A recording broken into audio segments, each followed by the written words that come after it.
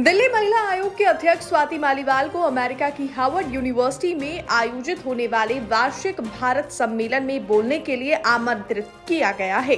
ये सम्मेलन 11 और 12 फरवरी 2023 तक आयोजित किया जाएगा। दरअसल, इससे पहले भी यूनिवर्सिटी में आयोजित होने वाले इस सम्मेलन में कई भारतीय मंत्रियों से लेकर व्यापारिक नेताओं और प्रभावशाली लोगों की मेजबानी करने का इतिहास रहा है। इससे पहले नितिन गडकरी, अमर्त्य सेन, जोया अख्तर, विनोद राय, अजीम प्रेम जी शशि थरूर, पी चिदम्बरम और महुआ मोइत्रा ने भी सम्मेलन को संबोधित किया है। वहीं इस साल डीसीडब्ल्यू अध्यक्ष को लोकतंत्र विषय पर सम्मेलन को संबोधित करने के लिए कहा गया है।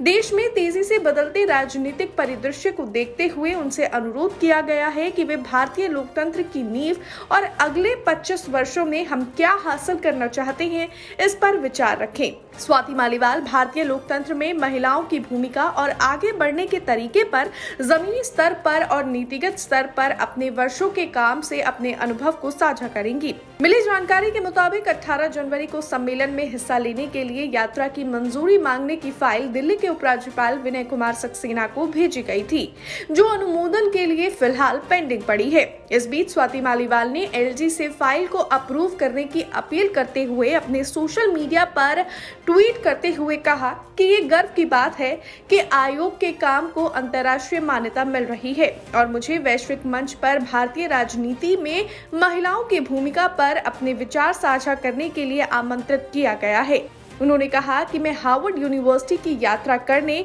और अन्य वैश्विक नेताओं के साथ बातचीत करने और अपने देश की सर्वोत्तम प्रथाओं को साझा करने के लिए उत्सुक हूँ। मुझे उम्मीद है कि मुझे जल्द से जल्द अपेक्षित मंजूरी दी जाएगी ताकि मैं वैश्विक मंच पर भारत के समृद्ध और जीवंत लोकतंत्र पर अपने विचार साझा कर सकूँ। अब देखने वाली बात ये होगी कि क्या दिल्ली महिला आयोग के अध्यक्ष स्वाति मालीवाल को इस सम्मेलन में हिस्सा लेने के लिए अनुमति दिल्ली के एल के सक्सेना से मिल पाती है या फिर नहीं ब्यूरो रिपोर्ट, दिल्ली तक